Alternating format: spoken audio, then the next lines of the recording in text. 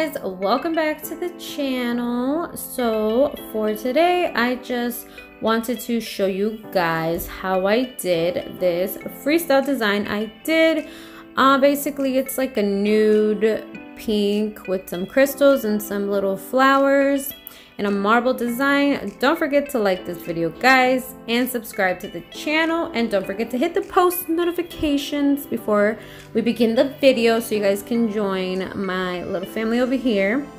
Alright, so first and foremost, I already pushed back her cuticle. Now we're just going to go in with the fine sanding band and we're just going to remove the shine. Go around the cuticle area but not touching the skin to remove all the dead cuticle around her um, cuticle area, of course. And we're just to be doing this for all the nails. The sanding bands that I buy, I buy them at my local Cosmoprof store. That is a licensed store for nail techs, cosmetologists, hair, things like that. So yeah, it's important to remove the shine. I do have it at a very low velocity and it is, this video is sped up so it's not like I'm going this fast. I'm actually taking my time and making sure that all of the dead cuticle and the shine off the nail is removed. Now, I'm gonna go ahead and start adding these tips. These tips I got on Amazon and the, the glue that I'm using is KDS glue. Both of these things I buy off Amazon. Um, before we started her nails, we did do a soak off just to, guys, just to let you guys know. So the tips that I got, I really, really like. I really like the shape. So if you're gonna do any kind of coffin or stiletto, these nails will work out just fine. And they also help you um, get the shape a lot easier without so much work because some of the tips are a little bit harder to get into shape because they are a little bit on the, I guess, wider side and these are on the more narrow side. So I did the right hand. Now we're to do her left hand and we're to do the same thing. Just getting some KDS glue, applying it to her natural nail on the free edge and grabbing the nail that I think will fit. Now when it comes to, I guess, experience, I kind of already know which one looks like it's to fit. Um, 85 to 90% of the time, I'm usually right. Um, and the other I guess 15 or 10% of the time um, if I get it too close and it looks like it may not fit I try to like kind of place it towards just to make sure it, it is gonna fit. But most of the time I guess from experience you just start you know kind of knowing which is gonna fit the best um, but I'm not always going to be 100% right. So sometimes I'm going to look at a nail and even if I have to, I will take it off and start all over because I want it to look you know, the best. So here I am, we're just starting to, to remove the tip so we can size what size she wants to get or what length better yet. So I am just um, going by her, not her pinky, but I'm kind of looking, I start really at the, um, the ring finger to see, that one's going to be the one that sends, that sets the tone for the other length. So if my ring finger is, you know, a certain length, it's easier to measure up to the other ones only because the pinky is so hard to adjust to to kind of like measure. It's kind of weird. You guys understand if you if you do it already or when you start doing nails because the pinky is hard. It's just like you gotta guesstimate the pinky and then the ring finger is really what sets the, the tone for the length because it's easier to kind of measure up towards the middle finger. So if you measure the middle finger with the ring finger, it's easier. I hope that makes sense, guys. And I know I said in every video, but it is a little hard to describe sometimes what I am trying to say. So now we're measuring them up from hand, from each finger to finger. So pinky to pinky, ring to ring, middle to middle. And if I feel like one of them is bigger, then obviously, or longer, I mean, I will cut it down. So everything looks fine. All the nails measure up perfectly. And we're gonna go ahead and take this file. This is a 100-100 file and I get these at Cosmoprof and I do have other ones that I like to buy from, from what is it called? From Sally's. I was gonna say Beauty Secrets, but Beauty Secrets is the brand. So these, um, the brand I really don't remember, but the ones that I really, really love are from Sally's and they're the Beauty Secrets 100 grit file or 100 slash 180 grit file. But anyway, when it comes to doing the coffin shape, you start from one side to the other. So you don't want to take too much time when when doing this part because if you not the, the time part but you don't want to take too much time on each side so what you want to do is go back and forth back and forth just to make sure you're not taking off too much on one side more than the other and that way that you're basically playing it safe and you're not going to look at it when you're done and like oh my gosh I took off too much off one side. And if it turns out that you did please remove that tip start all over because that is how you're gonna get better. Don't half-ass it um, I've done things where I'm like doing when in the beginning of my career where I'd be like no I can fix it I can fix it. It, it may look like that but after the acrylic it'll be fine and no like just take it off. It's not gonna work so if you're taking off too much product off one side, just go ahead right now, take it off because it is so easy to take it off when it's just the tip because after you apply the acrylic and it looks crooked and then you're mad at yourself and you're like, why did I do that? You know, just better safe than sorry, remove it and start over. Just like if you applied a tip crooked on onto the nail, it'll be the same thing. In the in the beginning, I did apply one of them crooked, so I removed it and put it back on. It didn't take no more than one minute, literally, because, or maybe two minutes, the most. But it doesn't take that long, guys. Like, it's better to fix the nail now before, you know, it gets worse. So, anyway, now we're just gonna go ahead and I'm gonna take my electronic file or my e-file and this is my Kupa ManiPro and I am taking the sanding band that I used to remove the shine and I'm just going to into just the tip, not the natural nail. Do not touch the natural nail again. Just on the tip, remove the, the I guess the height kind of or just remove the bulkiness where the nail and natural nail meet just so that when you apply the acrylic it is a lot more easier to blend so basically right here we are blending the tip to match the surface of the nail plate if that makes any sense. Because when you really look at a fake nail you can see that it is um, a little bit high on the higher side. So it's you know kind of basically on top of the natural nail. So you kind of want to align it to your natural nail. And we're going to be doing this on all the nails. And yes, I started removing my Kobe Bryant tips, guys, because I just wanted to do something different. I never get a chance to do my nails, so tomorrow is what I'm gonna do. So watch out for that video, you guys, because I am missing my nails so bad. I don't know what I'm gonna do.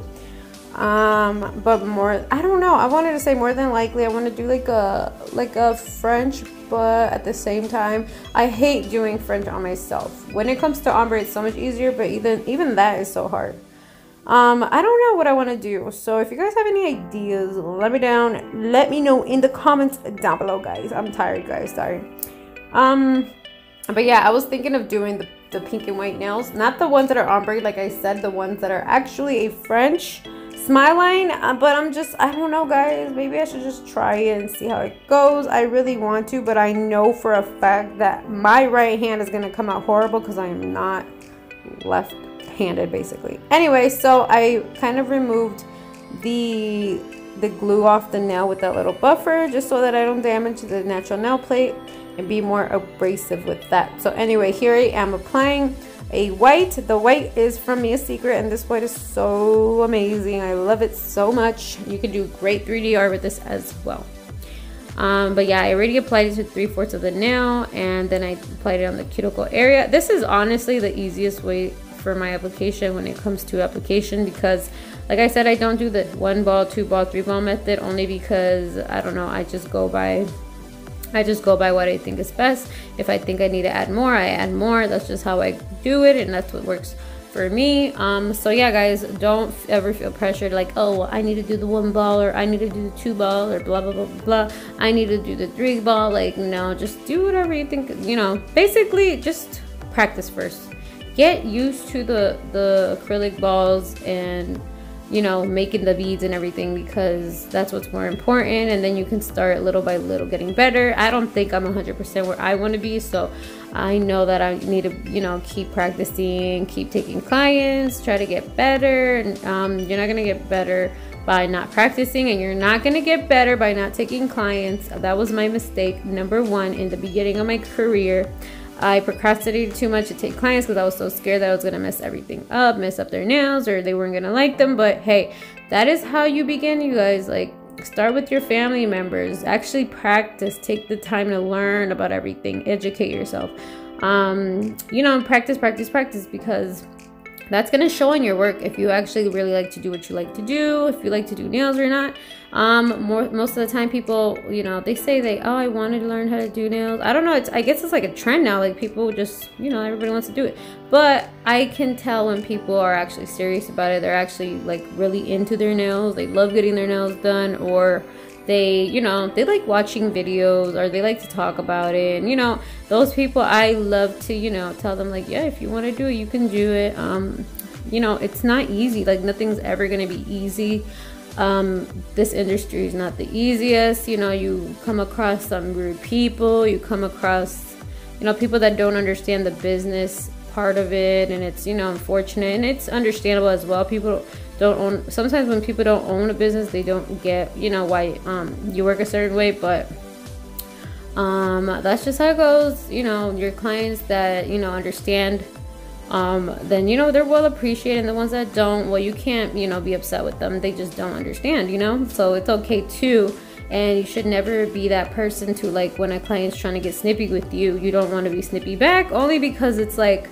well, what if they're having, that's how I think. What if they're having a bad day or maybe they just don't get it, like, you know, and you're not, you being, you know, positive and not having that negative energy towards them, that's going to be better for you because you don't want to spread bad energy. Because, like, basically, like, if you're that person that wants to clap back at clients, I just don't believe you should because people will screenshot and talk about you and, like, oh, she did this. And then other people won't understand your side of the story. And you know, people, sometimes people believe them because they're the client, you know. So either way, I'm not that type of person and I'm always going to be as respectful as I can to everyone, whether they're, you know, in a bad mood or whatever. You know, you pick your clients anyway when you're your own boss. So that's the great part about that. I don't really deal with bad people, thankfully. So um, I don't you know, I'm grateful I don't have to deal with that.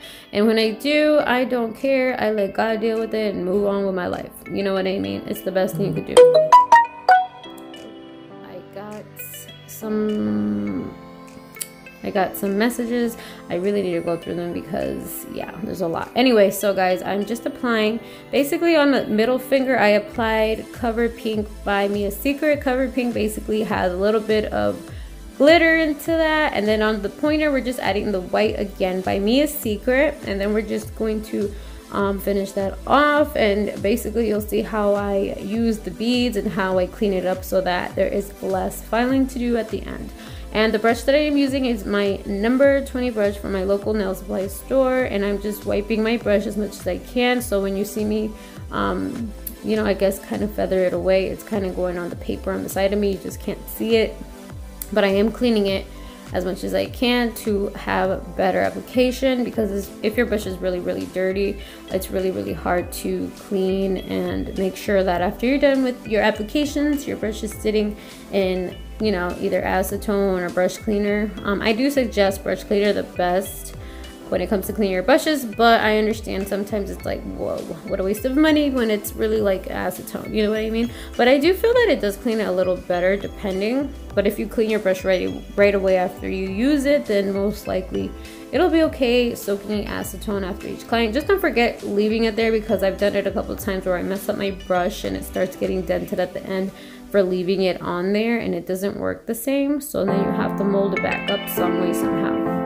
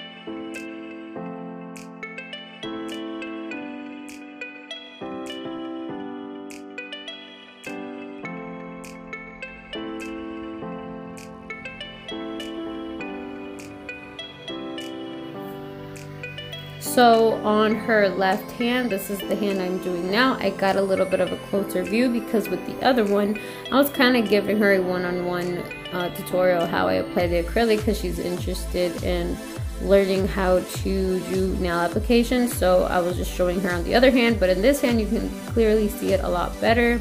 And I did add the first bead there and I'm just gonna finish it off with um, on the cuticle area.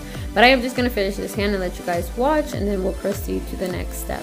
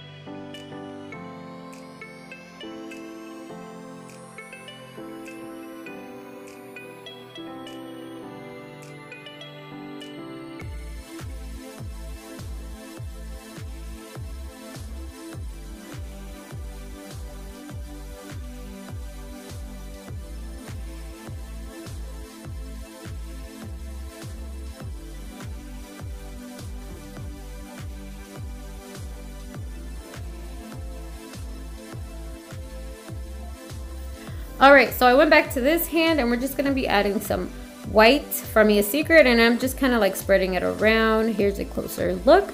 And I'm just kind of trying to do a trying to do a marble nail art here so it doesn't have to be perfect guys it's art let's let's you know not waste too much time on one thing um practice makes perfect like I said before. We're adding a little bit of pink there too only because I want it to look a little bit on the more natural side. And after that I'm gonna go ahead and add some gold that I mixed up myself. Um, to be honest I don't know exactly what's in it but I do know that I added um, gold pigment from Young Nails and I added some gold um, glitter some finer gold glitter and a little bit of chunkier gold holographic glitter if you guys can see that. There is um, acrylic in that mix too. So here you guys can see I'm capping it. The clear acrylic that I'm using is Mia Secret. And I'm just applying that to cover up the design and to add obviously stability in the foundation as well. And we're going to be doing this on both hands.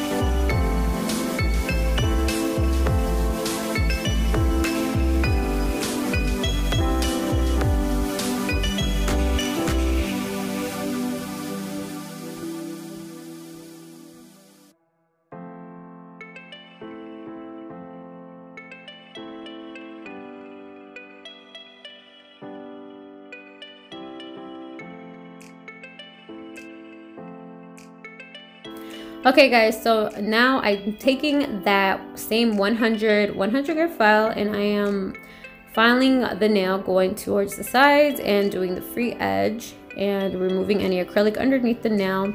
Simultaneously that is helping shape the nail because I am I am filing at an angle as you guys can see. Um, we are doing the sides first and then the free edge and we're going back onto the sides um, you guys literally i just learned all this stuff mostly by actually taking clients. I'm gonna go back to that because i think it's really really important. If you are finished with nail school or you want to start taking clients stop wasting your time guys. If you have all the things that you need or even if you don't get things little by little. Trust me that's how i did it. Because even if you don't start right away at least little by little you start building the products up or you know kind of collecting acrylic powders or glitters any little things like that rhinestones primer um, things like that files buffers you know just start collecting things and practice while you start collecting things because little by little you'll already have the things that you need. Get a lamp whenever you can. If it's your birthday or christmas you know ask for these things um, if family members want to help you out this is the best way because obviously it takes a village and people that believe in you will do it. And if nobody believes in you, forget them and do it on your own. Don't let nobody tell you you can't do anything because people will only say that because they can't do it basically you know if you guys ever heard that from the pursuit of happiness those are great words i live by. If you just because somebody tells you you can't do it it's because they can't do it. So they could they're gonna tell you you can't do it. So don't believe them. Do whatever you want to do. Do what makes you happy and sacrifice whatever it takes. Save the money. Don't go out to eat. Spending all your money. Don't go to Starbucks. Save your money until you feel like, you know, okay, I have enough money. I'm to buy this. Even if it's week by week basis, save a little bit of money. Take an extra $20. Get some gel polish. Get some acrylic. Get some top coat. Whatever you think it is. Get a better brush. You guys, if you guys only knew all the money that I would spend for the past couple years, even when I wasn't taking clients, I would spend all my money, every little penny on nail art or on, you know, files on liquid or trying new things out. Why? Because I, you know, I wanted to make that sacrifice even though I still didn't see the light at the end of the tunnel. I was just like, hmm, I still love to do this. I still want to, you know, figure out when I can do this, where I can do it. Because everybody used to complain about the smell of the acrylic in the house and I'm like well I'm never gonna do this and like everybody's complaining and one day I was just like well they're gonna get over it but I'm not saying you should do that because you gotta respect where you live too but I mean now it's like okay I wish I would have started a lot earlier because you know things would have been different. But at the same time guys like that's life. Like you live and you learn you make your mistakes whatever. Because i used to look at nails and be like oh my gosh um i can't get them like hers. How did how does he get it so close to the cuticle? How what am i doing wrong? And it's like literally it was trial and tribulation. That's how you learn if that makes sense. I don't even know if that was the proper term trial and tribulation but okay. You know basically it was trial and error. I think that's what i was trying to say. Anyway so as you guys can see the next step would be is to remove all of the all of the basically what am i trying to say? Oh basically i'm trying to remove all of the extra acrylic that may be stuck onto the skin. And for a long time that's another thing that i would wonder. I'm like why why is it that the nails are lifting and why don't they last? And it's because i didn't really know how to basically go around the cuticle area to create that basically the barrier that there basically needs to be. It has to be the skin. Then you have to see be able to see the natural nail. And then you have to be able to see the um what you call it the the artificial nail the acrylic. So you need to see the skin your natural nail and the acrylic. That way you know there's enough space in between that your nails are not gonna lift. You clean up as much as you can. There's nothing stuck to the cuticle that's gonna um, cause lifting. So because a lot of people don't understand what a lot of people don't understand is that if you don't remove this part right here if you don't if you don't do this part right here you're gonna leave all of that stuff that's flying. You see that? All of the um, extra acrylic that shouldn't be on the skin. All of that is gonna touch the skin. The skin is gonna touch the acrylic. It's gonna start spreading the oils from the natural nail and the natural skin and it's gonna cause lifting it's gonna start popping off. Just kind of like when something gets stuck and you use butter to, to to remove it or you know how like a ring gets stuck to your finger and the only way people know how to remove it is like by adding butter because it's oily it slips right off. Same thing with the nail it'll lift right off because it is oily and it's easier to kind of separate kind of like the ring and the finger.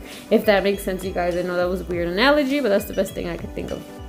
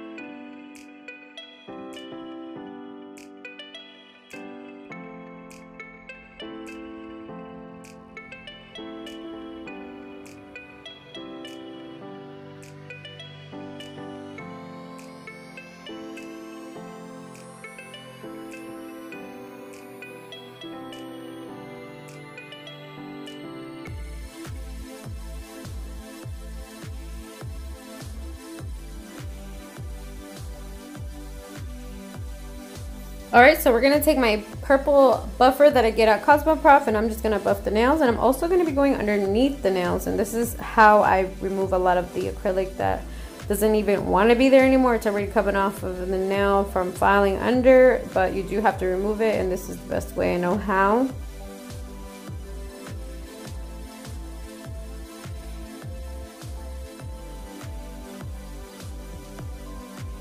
All right, I'm dusting them off and now we're gonna get ready to do some 3D art. This is my crystal brush and it is a brush that I got off Crystal Nails. I don't know the website on the top of my head, but I will be leaving it in the description box below for you guys so you guys can um, try and purchase it. I think it's like around $16. It wasn't too bad and I've had it for like maybe over a year, maybe two years actually. It's pretty a pretty good brush.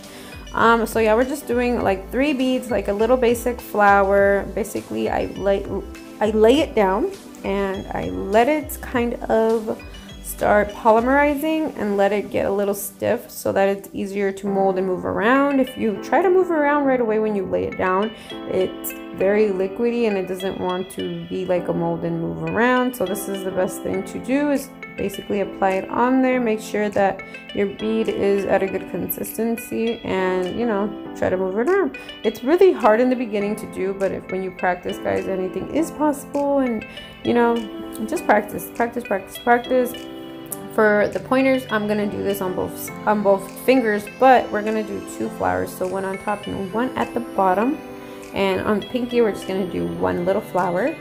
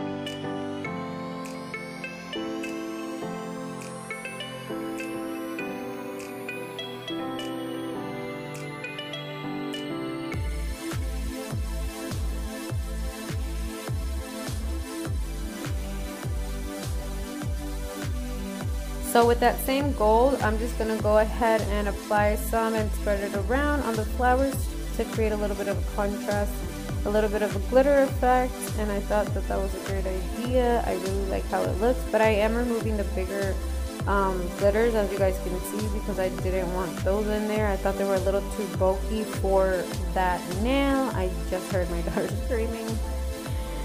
She is a screamer. She likes to play around. Anyway, guys, so I'm doing the same thing on all the little flowers. And we're to move on with that. We're to do these as well.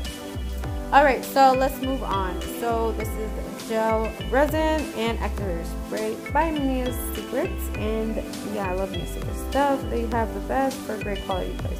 But we're just picking up a little stone and we're to place them on the little flowers thought that that was a cute idea. That, that's the best way to create also a bling design without too much bling. Or you could have also added something in the middle to create like a color contrast. You could have added like i don't know white on the middle. It would have looked pretty cute too. But anyway we're gonna do the middle finger. We're gonna do a little um, design with the bling. And this one i was freestyling it kind of had an idea of what i wanted I, what I wanted to do, but I think I didn't like how I applied this particular stone and then I went, you'll see, not this one, there was another one, but I applied this stone and I didn't like how it looked because I think I added too many of the smaller ones. So you guys are going to see me go back and fix that.